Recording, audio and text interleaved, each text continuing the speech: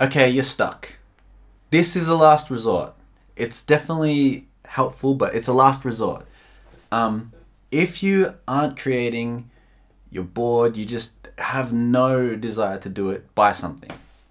Just buy something that you'll use. Buy a new plugin. Buy some guitar strings. Buy a new pick. Um, yeah. As I said, last resort. Always look internally for creativity. But if it's the end of the road, just buy something that you're interested to use. Do it now. Or, even better, find a free plugin if you're a producer.